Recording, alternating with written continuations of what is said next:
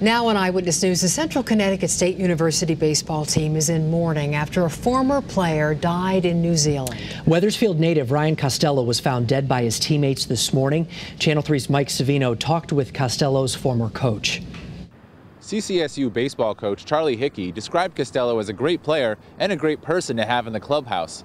And Costello was just one call away from making it to the big leagues, but sadly, that call will never happen. It's made us all take a step back and and remember all those smiles he had. Central Connecticut State University baseball coach Charlie Hickey mourning the loss today of former player Ryan Costello.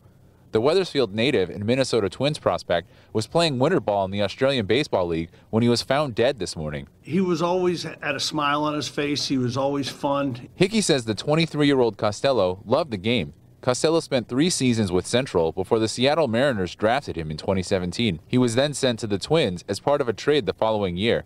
In the Twins system, he played for both the Fort Myers Miracles and the Pensacola Blue Wahoos. Costello's family didn't want to comment.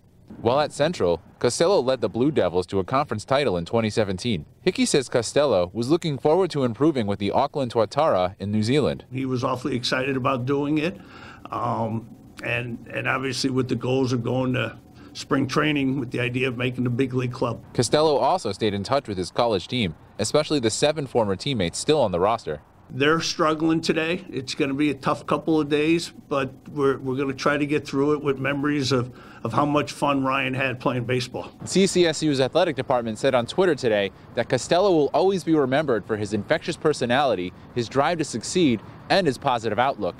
From New Britain, Mike Savino, Channel 3 Eyewitness News.